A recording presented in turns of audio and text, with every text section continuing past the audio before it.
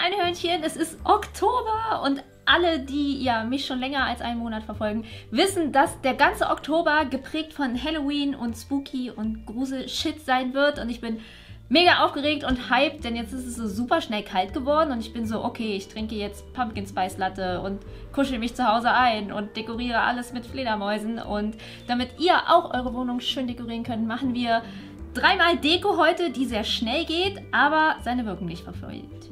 Verfehlt. Verfehlt. Ja. Als erstes gibt es eine Eyeball-Lichterkette, weil es wird ja wieder früher dunkel, heißt man muss mehr Licht anmachen und dafür brauchen wir Ping-Pong-Bälle und eine Lichterkette, äh, ansonsten nur noch Stifte und eine Schere oder ein Skalpell. Und als erstes nehmen wir einen Ball raus und tun so, als wäre es ein Augapfel und malen, ja, eine Iris rauf und eine Pupille. Und das Wichtige ist, dran zu denken, wenn ihr dieses schwarze runde Ding malt, dass ihr da einen kleinen weißen Punkt lasst, an dem, äh, ja, weil sonst ist es so super tot und dann sieht es nicht so gruselig aus.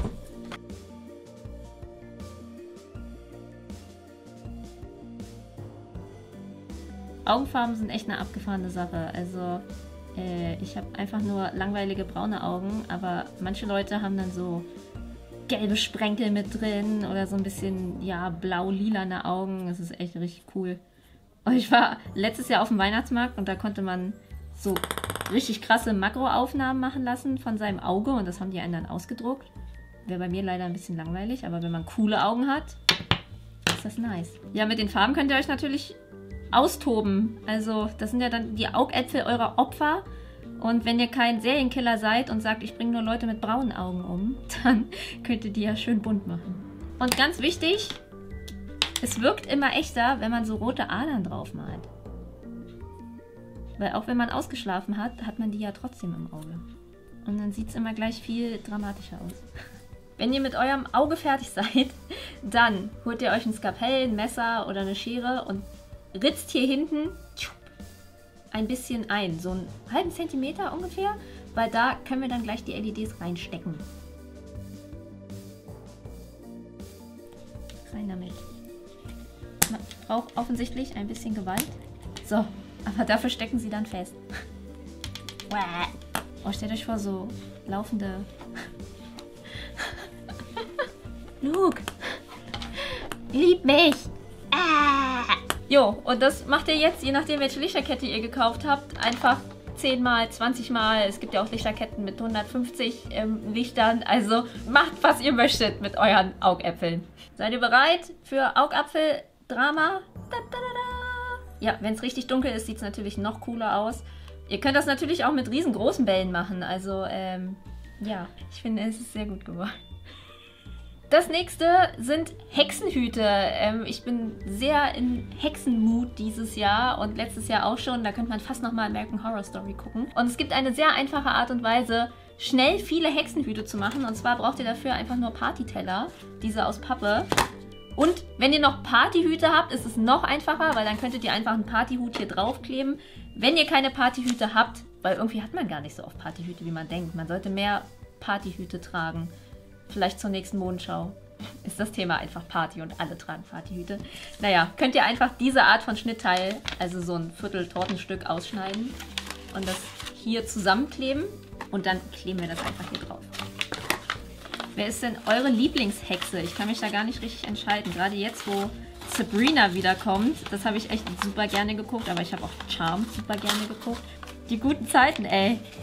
Aber Buffy habe ich auch mega gerne geguckt und ihre beste Freundin war doch dann auch eine richtig krasse Badass-Hexe. Man, Buffy müsste man auch nochmal rewatchen. Buffy, Buffy kommt auch schon. Ja, Buffy kommt wieder? Ist schon geplant. Ist confirmed? Aber äh, ich bin mir gerade nicht sicher, ob Remake oder Fortsetzung ist irgendwas. Mm.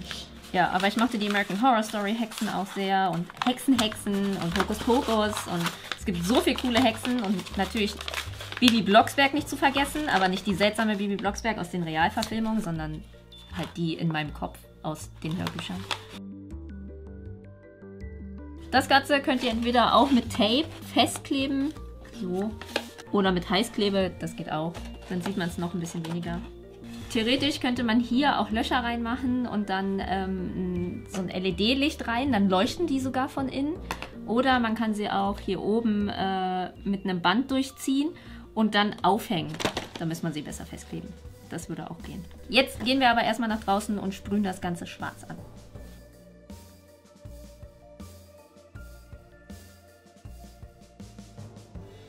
Während das jetzt trocknet, zeige ich euch, wie man Geisterteelichter macht. Als erstes geht's los mit kleinen Geistern, die man als Teelichter benutzen kann. Und dafür braucht ihr so lufttrocknenden Ton. Ähm, ich habe jetzt diesen hier, weil den hatte ich noch übrig. Das gibt es aber auch von Fimo und viele andere Dinge. Dann irgendwas Rundes, wo ihr das drüber machen könnt. Ich habe jetzt hier so ein Handcreme-Dings. Kann aber auch ein kleines Glas sein, so ein Shotglas oder eine Styroporkugel, völlig egal. Und wenn euer Ton tonfarben ist, nämlich in diesem Terrakotta, dann braucht ihr noch was, äh, womit ihr es ansprüht oder ihr lasst es so, das ist ganz euch überlassen. Außerdem ein LED-Teelicht, weil ein echtes Teelicht würde euch das Ding einfach abfackeln. Und irgendwas zum Ausrollen. Eine Flasche, ich habe dieses coole Ding hier gekauft, ähm, Nudelholz, es geht alles, was rund ist. Als erstes rollen wir das jetzt komplett flach aus. Das Coole ist halt, ihr könnt es anmalen, wie ihr wollt. Wenn ihr Pastell-Halloween-Queen seid, dann malt ihr das halt in Pastellfarben an. Wenn ihr sagt, nein, Original in Orange und Schwarz und Lila, dann äh, ja, in den Farben. Das ist ganz euch überlassen.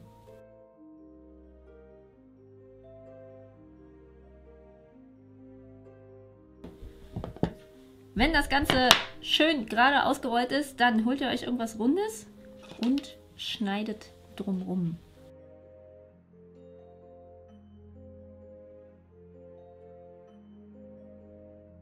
Jetzt holt ihr euch eure runde Sache und stülpt es einfach da drüber.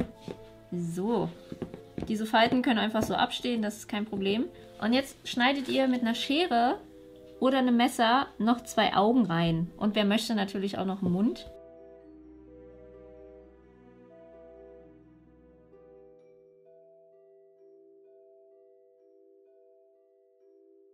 Ich habe jetzt einen Happy Geist gemacht, weil er sich freut, dass jetzt Halloween anfängt. Wie gesagt, sprüht den weiß an, dann sieht er noch geistiger aus. Und wenn das Ganze getrocknet ist, dann kommt einfach das Teelicht da drunter und dann seht ihr vielleicht schon so ein bisschen hier, wenn ich die Hand vorhalte, seht ihr da drin, wie es in seinen Augen leuchtet. Ah. Hier ist der angesprühte Hexenhut. Er ist ein bisschen speziell geworden, aber das ist ja das Gute an Halloween. Umso seltsamer es aussieht, umso besser ist es eigentlich. Und ich habe jetzt hier noch so ein bisschen Satinwand. Und das könnt ihr noch als Schärpe drumrum legen. Wer richtig motiviert ist, kann auch noch so eine viereckige Schnalle machen aus Filz oder Pappe.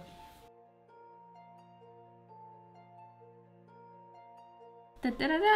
Last Minute Hexenhut fertig. Davon kann man sehr schnell sehr viele machen und ich hoffe, ich habe euch jetzt ein bisschen für die Halloween-Zeit einstimmen können. Schreibt mir gerne unten in die Kommentare, was ihr jetzt schon macht, um ja Halloween zu zelebrieren und wir sehen uns im nächsten Video. Bis dann. Tschüss.